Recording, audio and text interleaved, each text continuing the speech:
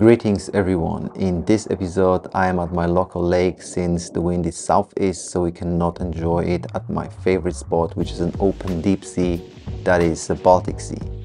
I am currently in Poland and it's still winter and it's quite cold at the same time so let's not forget that.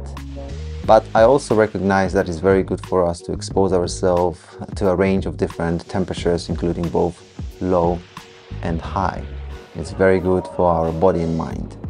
By the way, my favorite local kite spot, the Baltic Sea, is a very specific body of water with lots of frequent and rapid waves, especially when it's windy, which you can see by the way in many of my other videos, whereas this kite lake spot has more of a flat water characteristics with some chop at times when windy. Also this spot has more shallow water areas, uh, good at times for learning and practicing new stuff. It gives you a little more of comfort, especially when you're a beginner. But uh, as I said, I like to be in a deep water with waves and my favorite strapless kite surfing. During this session I am using my 9 meter Ozone Enduro V3 kite and RRD Chata K V258 surfboard.